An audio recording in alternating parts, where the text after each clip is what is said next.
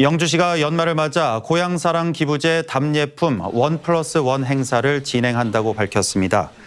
오는 31일까지 10만 원 이상 기부를 한 시민 가운데 기부 순서로 50배수에 해당되는 시민에게는 97종의 답례품 가운데 인기 답례품인 영주 한우 불고기 1kg 등을 하나 더 발송해 줍니다.